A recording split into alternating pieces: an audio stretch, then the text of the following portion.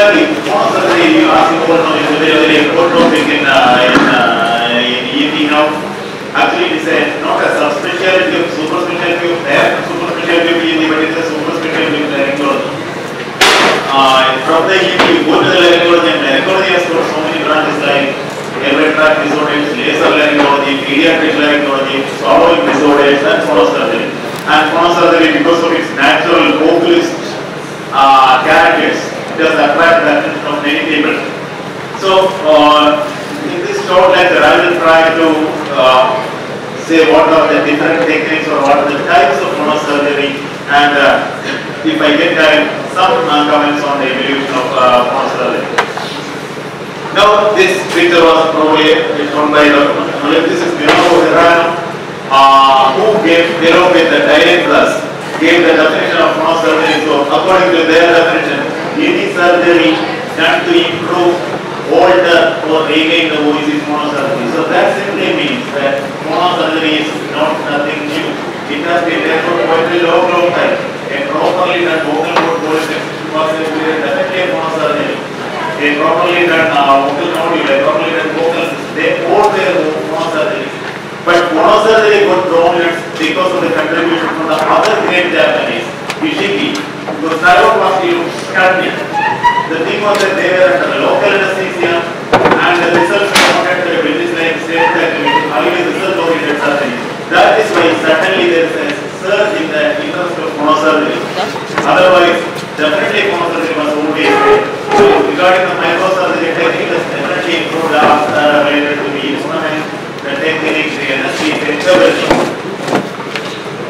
Now, so really, if phonosurgery, if the definition, if you go by the definition, if phonosurgery is any surgery done to improve, alter, or regain the voice.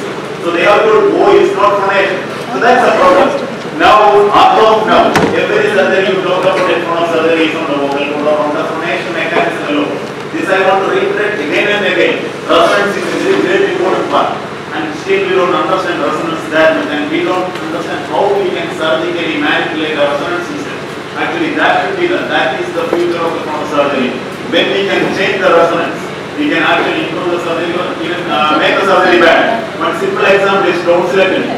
So when you do a tonsillectomy in a normal, in an ordinary, like conversational voice user, the effects are not very great.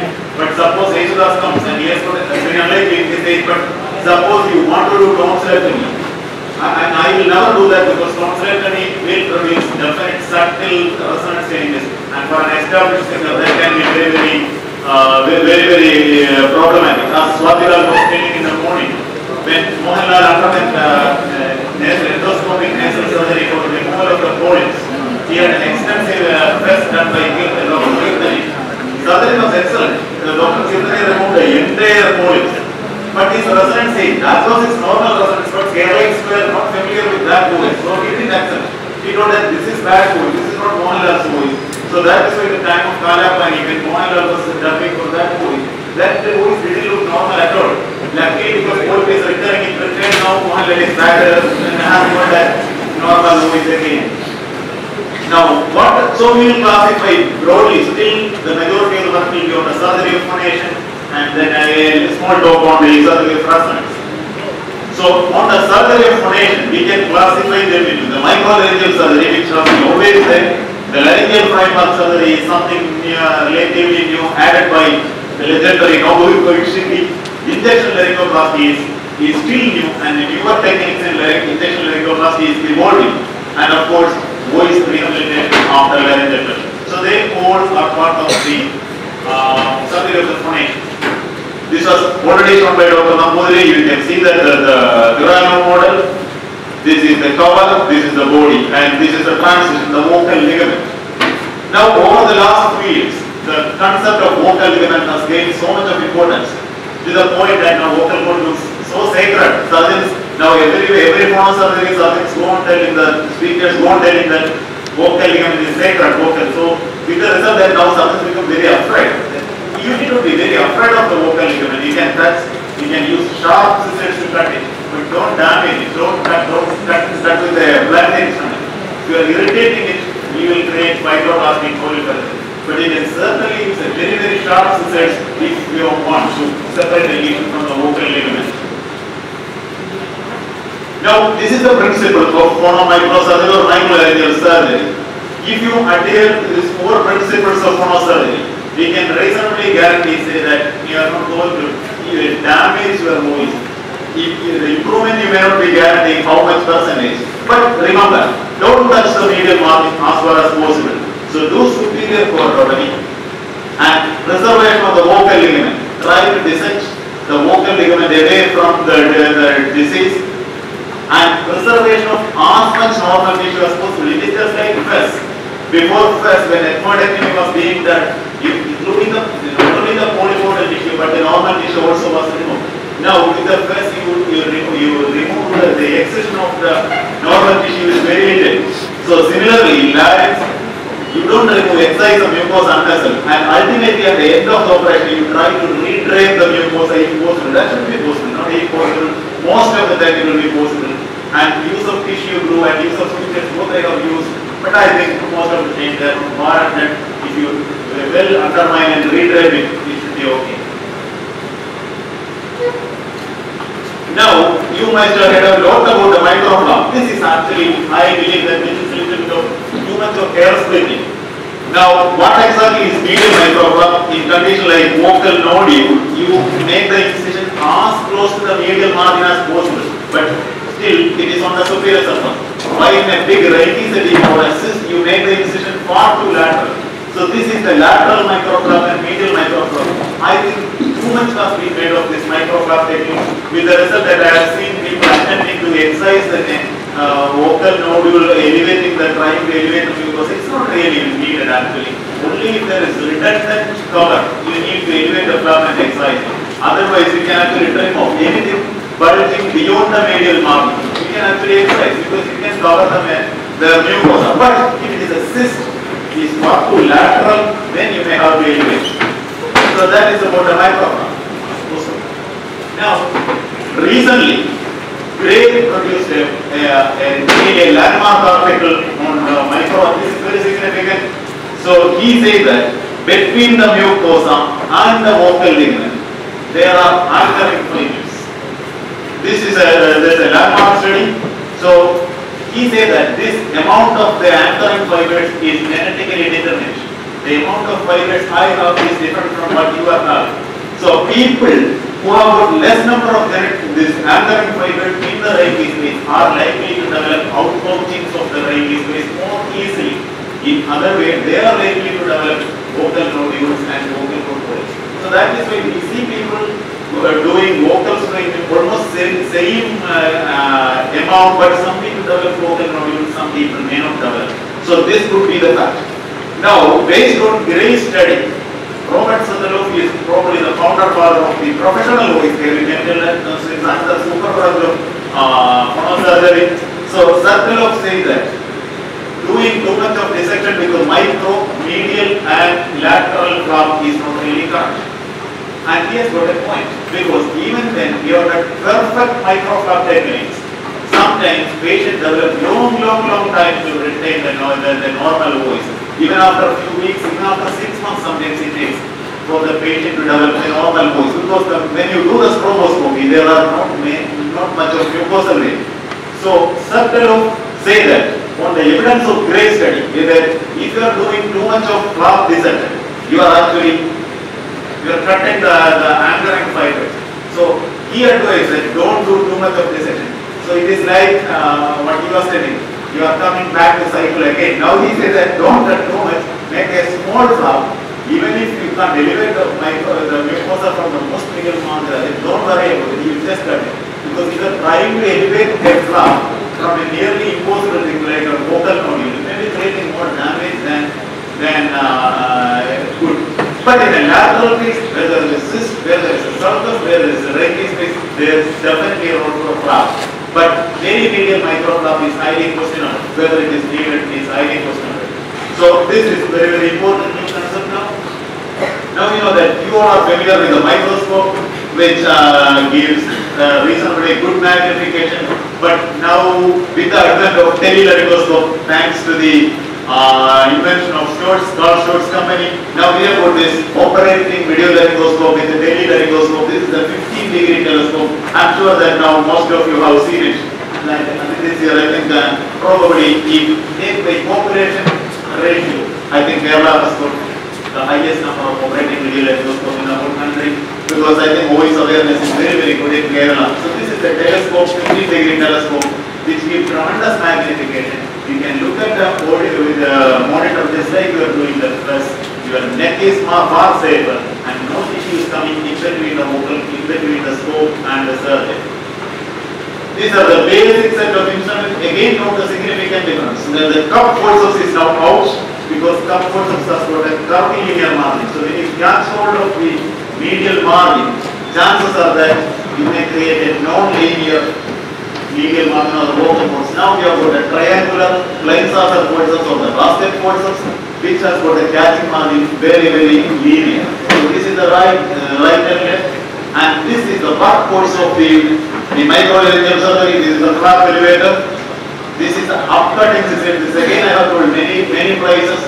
If the management has got lot of money, you can buy upcutting systems, downcutting systems, right cutting systems, left cutting systems, and straight cutting systems. But management say that you know I can buy only one system, buy upcutting system. You require only that system. 45 degree upcutting system is more than good for most of the laryngeal microlaryngeal work. This is a sickle knife, just like the nasal sickle knife. But now I have abandoned this. The problem is that sickle knife after 3, 5, 6 operations will become very branch. And when you incise with the sickle knife, you sometimes create tearing of the, the mucosa. So I have abandoned this altogether. So what I do then, I asked Krishna Gudya, he has done here from uh, Shovasa, he has done a very good, easy laryngeal BP hand. Broadcaster hand, only which easily number 15 and number 11 plate can be easily connected. So this possible, you can put a very sharp cut. So I don't use it now. Same is the case with scissors, it is better to use uh, something like, you know, most of the time you can use a for only 5 cases, 6 cases, and then it becomes blank. This is a terrific equipment honestly. Lindholm vocal cord retractor with, with which you can expand or retract the ventricle so that you can see the whole of the larynx, the whole of the upper surface of the vocal cord, and also the subglottis leaf And you can also have a suction error. This is the basic set.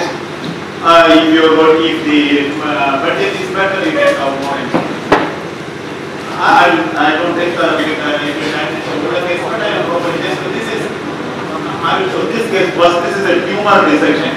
Now previously, we were told that if you take a biopsy, when you see a vocal cord growth, you take a biopsy, take biopsy multiple sites and send for growth, send for the report and come back.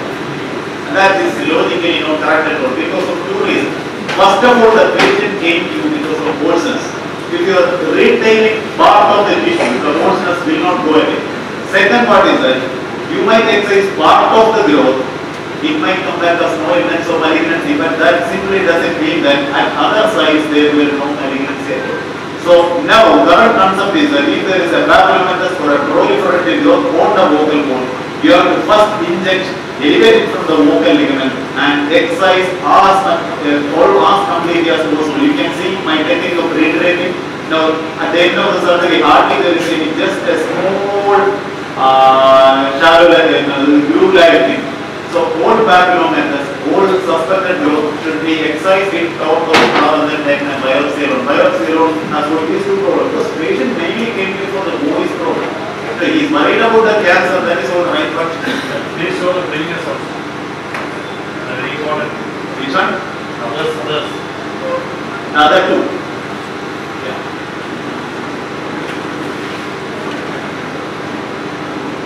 This is the cyst surgery. Now, technically the most difficult. And in my experience, I have seen that most of the time when superior cordotomy does, the cyst breaks. The chance of cyst breaking is very, very high because most of them are thin wall.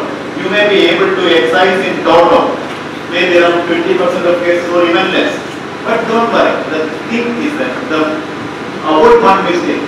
What generally one does is that when you accidentally burst a cyst, immediately surgeon puts the suction. That is a big mistake. If you put the suction on the, uh, the opened up cyst, then you won't see the cyst wall. So don't do the suction layer. Don't get panic just before the cyst break. Just use the, the, the blind saucer, the corresponding blind saucer with it, and catch along with that first material. Most of the time you will be able to catch hold of the cyst and it actually easily opens away with blood resection. Now this is a, a sharp resection, it came out normally, but I'm telling that most of the time the chance is high that it may break. But don't apply such thing you apply the suction, then you will not see the grow again. It is very, very thin bone. But you catch hold with that thick segregation. And again, the same technique at the end of the surgery, if there is a little bit of there is no mucosal damage, you loss here, if there is a mucosal loss, you can always little bit undermine, but again, if what Robert Sataloff says is correct, then you shouldn't undermine too much or too much also. So this is another vocal cord fixation.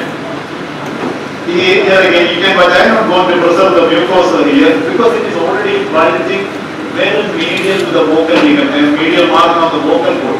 So there is no point in actually keeping too much of mucosa. If there is very much redundant mucosa, you are justified in it. So cyst you need to elevate, sulcus you need to elevate, Reinke's edema you need to elevate. Otherwise, you can actually exercise a little bit of mucus with overlying mucus mu- mu- mucosa and you can still get a very sharp medium margin. I think I will it bit now. Because Now we go to the laryngeal framework surgery.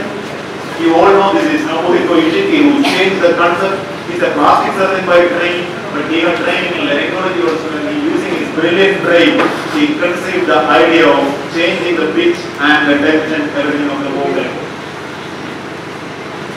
So, I will use the descriptive term first and I will use the term used by Isshiki later. Now, medialization thyroplasty is the commonest technique, commonest thyroplasty. Isshiki called it type 1 thyroplasty. So, indication can be classified is in, told in a single sentence where the vocal cords don't or adapt loosely or weak, they don't adapt properly. So, any condition where the vocal cord adaptation is too loose, you can do the medialization thyroplasty. So, if is unilateral vocal cord palsy is a commonest condition, you can get sulcus vocalis, you can get prosvirine, you can get myasthenia gravis, all of them you do bilateral, in unilateral vocal cord palsy, you do the, the unilateral. So that, that that's the commonest uh, surgery, yeah, for the thyroplasty uh, in group. So you know the technique, most probably will be demonstrating, so I, I will not be going to the detail. There are techniques how you mark the window, you remove the window, the current concept is that you remove the window, you don't keep the cartilage there, you keep the internal perichondrium intact, again don't go that if you accidentally cut the internal perichondrium, nothing is going to happen because there are surgeons who intentionally cut, especially naturally, cuts the, uh, the, the internal perichondrium intentionally, saying that in long-standing paralysis, the internal perichondrium is too stiff. So unless you cut it and make it pliable, the, the, pro- the process will not uh, medialize it. So you can get a different types of cases. This is a unilateral, I have a lot of cases. This is a unilateral case who had a So he was trying to compensate his unilateral cord palsy with a high pitch voice. That is why he has got a high pitch voice. So this is before surgery, not after surgery. There is a mistake. ഒന്ന് രണ്ട് മൂന്ന് നാല് അഞ്ച് ആറ് ഏഴ് എട്ട് ഒമ്പത് പത്ത് one two three So what we was doing was that- nine ten twelve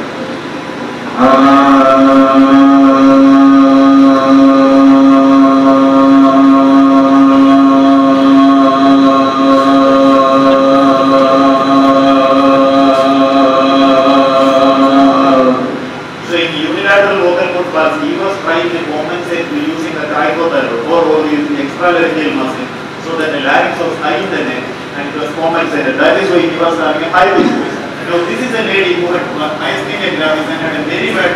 So I had to do a bilateral thyroplasty. She is a patient from.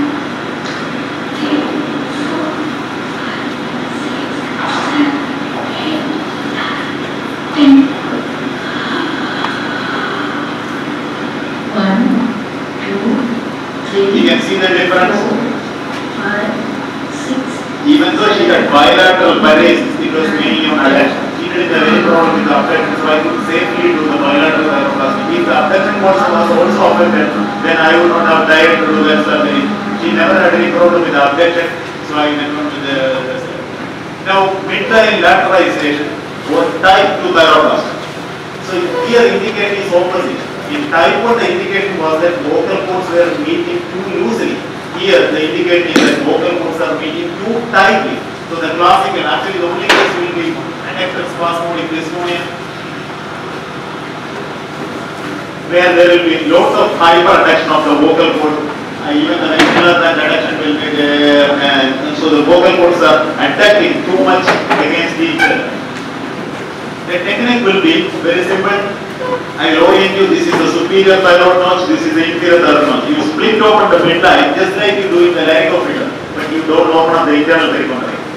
You just stop short of the internal perichondrium and keep on pulling the area apart. At one particular point, the spasm will disappear. Generally, it is 4 to 5 millimeter and you measure that distance and keep a suitably wide synaptic processes in that position permanently fixed so that the vocal cords won't get hyperactive again. This is a good surgery but it will never be as good as botulinum toxin. This is a patient, uh, Ajoy knows, uh, he, he, he was a patient who had uh, treatment with botulinum toxin. And he actually improved with botulinum toxin. But the problem was that he's from Jharkhand, Ranchi. So he couldn't come every six months. So then I had to do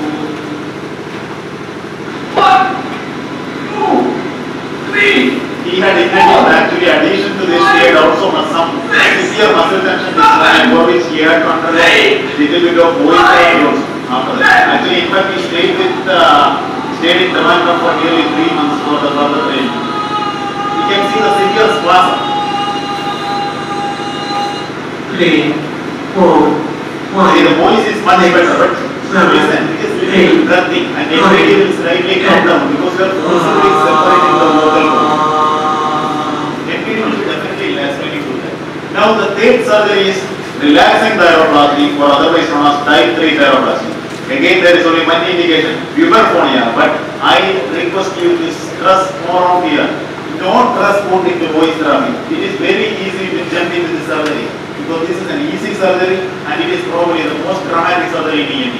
Because patients, they, it's like that all of a sudden on the table he starts making really low pitch sound. It is highly tempting to do this surgery. But 90% of the patients do very well with voice therapy. So only if they are not responding to voice therapy, you go for a treatment for a cervical correction. Otherwise it is unfair because I remember that you know I had demonstrated this surgery two once and uh, then two, three years later I had a conference in Colombo. eight, Then I was shocked to see nine, 18 year old boy, 19 year old boy, who had already undergone type 3 therapy. That was so bad because none of them were therapy. They were easily corrected with voice therapy. So the principle is simple. You make two cuts on either side of the midline, 5 millimeter from the midline, again only up to the internal perichondrium. Make this segment totally free, push it in. And how much low pitch you want at that particular point you loosely fix it with rolling. You can see before the surgery the vocal cord is very tense, after the surgery the vocal cord is lax. Don't make it too lax, the voice will be bad. So, uh, and it generally, I would ask something like staphylectomy, it's a very, very dramatic surgery.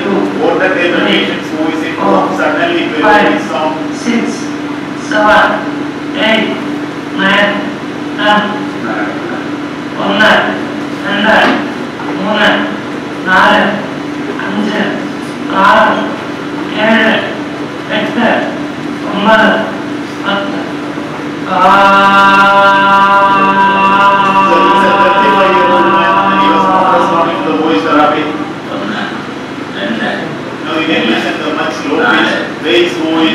ಬೇರೆ ಏಳು ಎಂಟು ಒಂಬತ್ತು ಹತ್ತು one Now, tension in thyroplasty or thyroplasty or which is called thyrothyroid approximation. Indications are androponia and SLN palsy, especially bilaterally. This is a sign of SLN palsy. The right area epiglotic fold is transverse. Uh, normally the area epiglotic should be anteroposterior. This is eh, one sign, but most of the unilateral SLN palsies don't require any cervical correction. They generally compensate. Till today, I have been done a type 2 thyroplasty for. While in Ireland, you see this young lady here, such a low pitch and she is doing undergoing voice therapy and doing very well. I haven't done a type 1 therapy for an androphonia eh, till now, while in Ireland, after type 1 therapy, this was a common surgery. I had great expectation when I came back to Kerala, probably somebody like Mani Vishwanath will come to me. But uh, till today, no patient uh, with a low pitch voice, you know, lady has come. I think androphonia is not very common in, in, uh, in, our country, while puberphonia is rampant. So the technique is again very simple surgery. You take suture through the thyroid onto the thyroid and tie over the Silastic bolster. Thyroid is tough, you don't require Silastic bolster, but thyroid you require Silastic bolster, otherwise it will cut through. You will remember probably the why the failure of previous future cordopexy for bilateral cord palsy. Most of the time, the failure of future cordopexy is that the future cuts through the thyroid cartilage later. Because thyroid is not very good in preventing the flow input. Why thyroid will stand. So whenever you tie over the thyroid, you have to use Silastic bolsters. Finally, arytenoid rotation. So if type 3 thyroidoplasty is the most dramatic surgery in your uh, least gynecology, this is technically the most challenging and the most difficult surgery you can actually ever conceive because this is to be done in a low, under local anesthesia. You are dealing with an area where there is internal jugular vein, carotid artery, pyriform fossa, so dangerous a surgery and uh, if it is a full neck male, then you have the worst case probably. So what are the indicators? So it is done only in unilateral local pulse, not in sulcus vocalis, nothing like that. So there has to be a big posterior phonic up, vertical level information, and very poor LTD, maybe less than uh, uh, 5 seconds or 4 seconds. So the concept is very simple, but it is brilliant, it is difficult to put into practice. You take a suture through the muscular forces and anchor it anteriorly in the direction of the lateral tricuspid node. With the result that the vocal process will rotate medial. So these are the two patients again they are from out. This is a patient Mr. Bajaj he is from uh, Bihar actually. So she had already undergone a type 1 thyroidoplasty but there was no improvement. One, You can see the difference now. The is now four. And uh, six, seven, eight, nine, ten. Again another patient, uh, this is uh, he's a Sri Lankan, again he underwent a type 1 thyroidoplasty, one of our, uh, now that again improve the voice, you can see that the, the quality of the voice is still the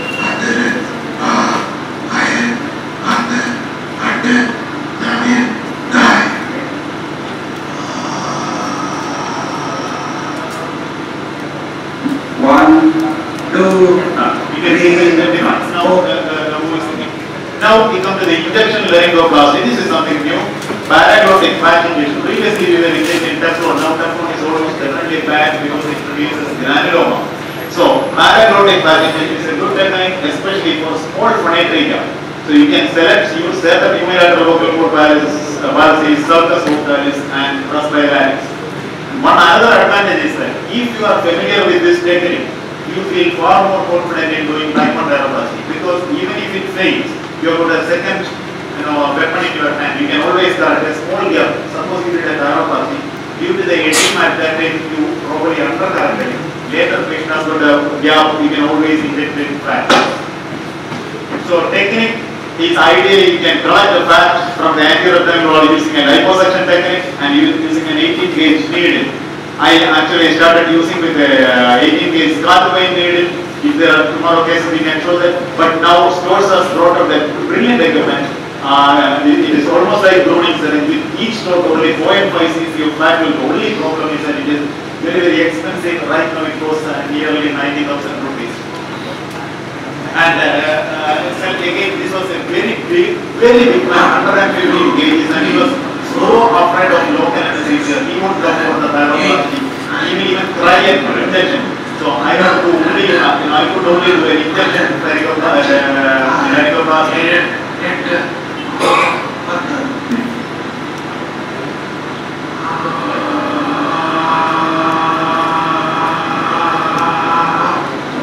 One, two, three, four, five, six, seven, eight, nine, ten. Roughly around 30% of the family. So what happens in the family happens in the family. Now we go to the botulinum toxin injection. So this is a standard treatment for uh, spasmodic dystonia, for attention and attention. This is a lady who had a, a road traffic accident and it has been described that spasmodic dystonia can also occur secondary to diffuse brain injury. So she, was- she was a teacher and she lost her voice. Very bad voice. Is a high profile teacher and she is actually now five, is going after a court case claiming, I think somewhere around five rupees. I don't how they will give, she is claiming a tremendous. But you can see now with the botulinum toxin, he has now started back teaching again.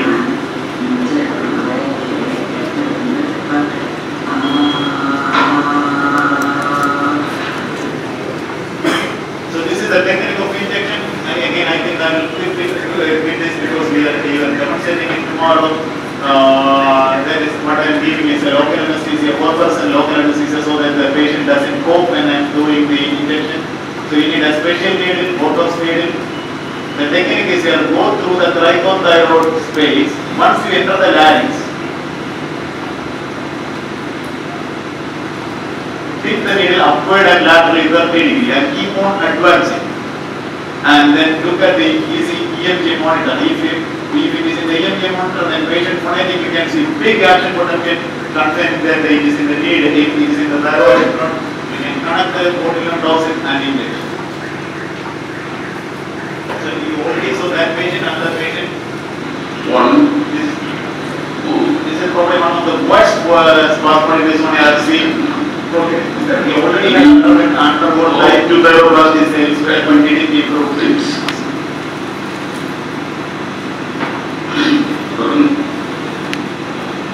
You can see even the speaking there is a lot of voice problem. nine, ten, Very well. Name. every day, sir. Where you are. The work is every time. The morning, sir. Where. I love the How long you have been having this problem? past two years. Is it getting any worse? Yeah, When was the operation done? two thousand three. Now this is after Botox injection. Oh, sorry. Something wrong. Okay, really, then, then uh, he had actually very good improvement. Now, do I need to go to this? In fact, we are, we are there. So I think that you are familiar with the, this topic, so I, I'll probably conclude the topic and the talk today now for the time being. And uh, the remaining resonance disorders and will probably when we have got a intertechnical class being case tomorrow, so we can discuss that during the day. Thank you.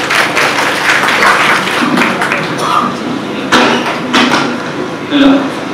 Dr. Jayakumar is wonderfully delivered his lecture regarding various techniques of this thyroidoplasty. It's very useful for this postgraduates and everything. We we are demonstrating the much depth of the microlaryngeal surgery, which is so far we have not seen. It's very useful for us to understand. Thank you. Thank you, Jayakumar, for the excellent display of the pictures of the voice. And uh, especially when you have dealt with the ordinary, usual phonosurgery, like removal of body, cyst and all, you have highlighted your practical points and. That was very useful. Thank you very much. Thank you, sir. We now request Dr. Subhash, Senior Consultant Pediatric Surgeon, Vadodara, to hand over moment to Dr. Jefferson, the Doctor of Love and Application. Please, sir.